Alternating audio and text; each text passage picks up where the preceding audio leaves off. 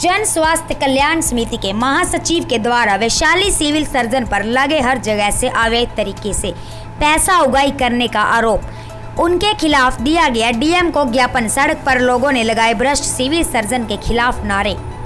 समस्या Vaishali civil surgeon के करतूत के बारे में। वैशाली सिविल सर्जन वैशाली जिला को भ्रष्ट कर कर एकदम रखे हुए हैं। जितना वैशाली में पीएससी बना हुआ है, सभी जगह पर जो है कि प्रभारी को जो है कि पैसा जो है कुछ मिलता है। इस सभी में जो है कि सिविल सर्जन का मिली भगत है। सिविल सर्जन जो है, जितना पीएससी के प्रभारी है, सबसे पचास पचास हज़ार रुपया लेता है महीना में और सबसे गलत काम करवाता है। मैंने दो महीना में चार गो जो है पीएससी के प्रभारी का जो है कि साक्ष्य के साथ दिया डी वीडियो सब चीज़ का साथ दिए, पैसा लेते हुए का, देते हुए का।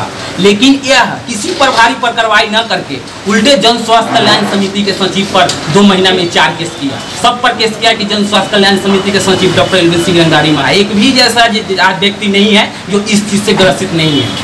आज जो भी हॉस्पिटल में जाइए तब बंध्याकरण के नाम पर एक हज़ार, दो हज़ार, तीन सौ, चार सौ सवाई क्या है? सब प्राइवेट में भी जो है कि बंध्याकरण का ऑपरेशन हो रहा है तो वहाँ पर लोग जो है कि बारह सौ रुपया में कर रहा है। और सरकारी हॉस्पिटल में तीन हज़ार रुपया ले रहा है डीएनसी कर करके। तो क्या है सरकारी हॉस्पिटल क्या व्यवस्था है ये? क्या हो रहा है? ये गुंडागर्दी नहीं तो क्या है? क्या नाम हुआ आपका? मेरा नाम हुआ डॉक्टर एलवी सिंह जन स्वास्थ्य कल्याण समिति के प्रदेश सचिव। कुछ मैंने गलत काम तो सिविल सर्जन साहब उससे मिल के पैसा ले लेते हैं और केस को ख़त्म कर देते हैं। जैसे कोई मामला बताइए मामला जैसे बताते हैं कि हम लोग गलत खून चढ़ाते हुए पकड़े थे कौन डॉक्टर था वैशाली में ये सामने खड़ा है इन्हीं के भाभी का ऑपरेशन हुआ था वो पैसा लिया था उल्टे ये लोग गए पूछने इन्हीं पर केस कर दिए यही तो समस्या है। आप मतलब प्रॉपर्टी इसी ज़िले के रहने वाले हैं आप? हाँ मेरा बगल में घर है।